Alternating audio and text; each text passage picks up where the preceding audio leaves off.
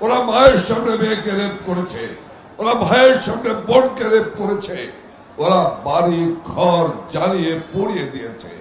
তারপরও চোরারা আসলে ধর্মের কাহিনী। আজ থেকে সাড়ে চোদ্দ বছর আগের বাংলাদেশকে এক একবারে ভেবে দেখুন কি ছিল বাংলাদেশ। আজকের মোহাম্মদপুর, আজকের আদাবর, আজকের আগারগাঁওকে একবার কল্পনায় আনুন, আজকের সেই মোহাম্মদপুর আদাবর শেরবাংলানগর আর আজ থেকে সাড়ে চোদ্দ বছর আগে মোহাম্মদপুর আদাবর শেরবাংলানগরকে আমি উপস্থিত, মুরব্বীগণ, আপনাদের বিবেকের কাছে ছেড়ে দিলাম।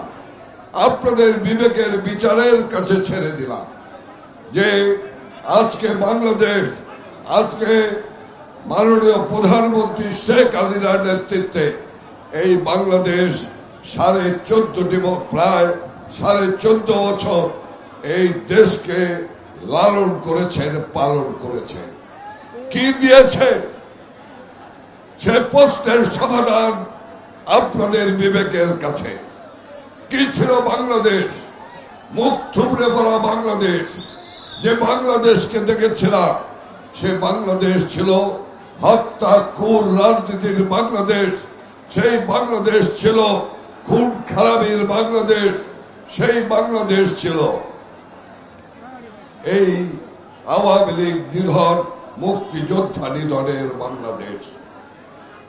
সেই বাংলাদেশকে শেখ হাসিনা এগিয়ে নিয়ে গিয়েছে। এই এলাকার শিক্ষা প্রতিষ্ঠান সহ সারা বাংলাদেশের শিক্ষা প্রতিষ্ঠানগুলি মুখ থুপড়ে পড়ে গিয়েছিল। দুই হাজার এক সনে ওরা ক্ষমতায় আসার পর ওরা আমাদের হাত কেটেছে, পাও কেটেছে, ওরা চোখ উপড়ে ফেলেছে, ওরা মায়ের সামনে মেয়েকে রেপ করেছে, ওরা ভাইয়ের সামনে বোনকে রেপ করেছে, ওরা বাড়ি, ঘর জ্বালিয়ে পুড়িয়ে দিয়েছে। তারপরও তারপরও চোরারা আসলে ধর্মের কাহিনী। দুই হাজার চোদ্দ সালে আন্দোলনের নামে, সংগ্রামের নামে এই দেশে কি নারকীয়তা ঘটিয়েছে, সে কথা আপনাদের ভুলে যাবার নয়। ওরা যাত্রী সহ বাস জ্বালিয়ে দিয়েছে, যাত্রীকে দগ্ধ করে হত্যা করেছে। ওরা রেল আন্দোলন নামে রেল লাইন উপরে ফেলেছে। ওরা ট্রেন স্টেশন জ্বালিয়ে দিয়েছে। ওরা সরকারি সি অফিস জ্বালিয়ে দিয়েছে।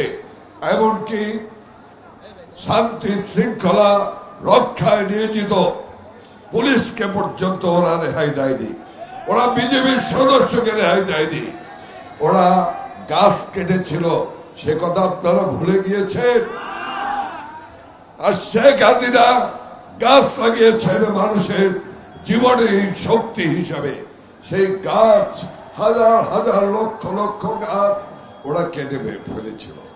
ওরা এখন বলে, ওই ওরা যারা হারা ভোট করেছিল, রাতের অন্তকালে ওই ওরা যারা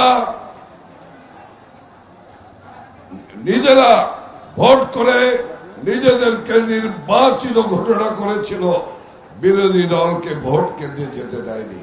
সেই ওরা আমাদেরকে গণতন্ত্র শিখায়।